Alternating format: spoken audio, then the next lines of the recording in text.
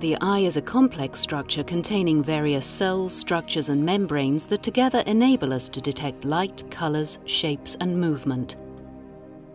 The vitreous gel is one such structure. It contains a collagen fibrillar layer and glycosaminoglycans, primarily made of hyaluronan and, to a lesser extent, chondroitin sulfate. It is thought to have two primary functions. The first, protecting tissues within the eye, such as the lens, from oxidative damage due to its role in oxygen metabolism. The vitreous gel also acts as a barrier, preventing the invasion of cellular components into the eye.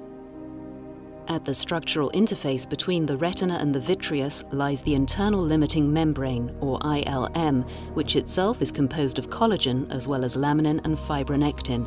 It is thought that laminin and fibronectin act as the glue between the cortex of the vitreous and the internal limiting membrane, as they are known to have a high affinity for collagen. As a person ages, the cortex of the vitreous can detach from the ILM. Detachment is commonly observed in patients around the age of 60. Detachment can start with the liquefaction of the vitreous gel, causing the collapse of the collagen fibrillar network and aggregation of collagen fibers into bundles. The combination of liquefaction and fibrillar collapse causes the vitreous cortex to detach from the ILM. This process is referred to as posterior vitreous detachment or PVD. It is part of the natural aging process and is not seen as dangerous. Symptomatic vitreomacular adhesion, or VMA, is an age-related progressive and sight-threatening condition. It is a consequence of incomplete PVD, which occurs when part of the posterior vitreous remains attached to the macula. Laminin and fibronectin have both been suggested as having a role in vitreomacular adhesion, as these proteins promote the attachment of the vitreous cortex to the ILM.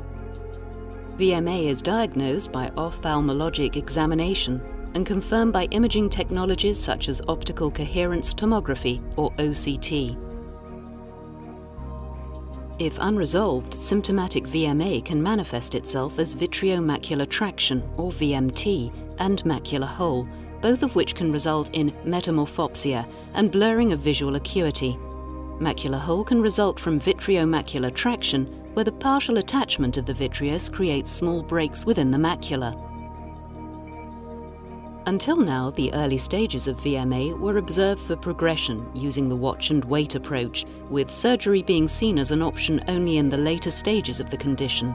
However, if left untreated at an early stage, VMA can often progress to a more severe form, highlighted by the fact that almost three-fourths of stage 2 macular hole patients progress to stage 3 or 4. Vitreomacular traction can have a major impact on a patient's quality of life, compromising daily activities such as reading, driving, and the ability to work. Early intervention is seen as being favourable due to the unpredictable nature of this condition.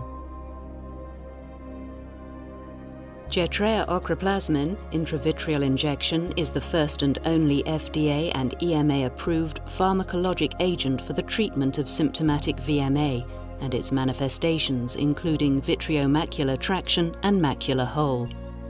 It is a recombinant truncated form of human plasmin that has been formulated for intravitreal injection. Like plasmin, Jetrea intravitreal injection exerts enzymatic activity over fibronectin and laminin, which make up the protein matrix of the vitreous body and the vitreoretinal interface, inducing a clean separation of the vitreous from the vitreoretinal interface. It is also known to promote the liquefaction of the vitreous gel, in part through its cleavage of collagen.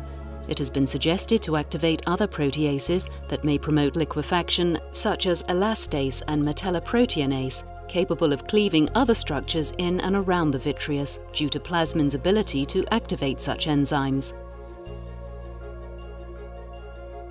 Therefore, it produces a dual effect of vitreous liquefaction and vitreoretinal separation for the resolution of VMA, enhancing the natural aging process.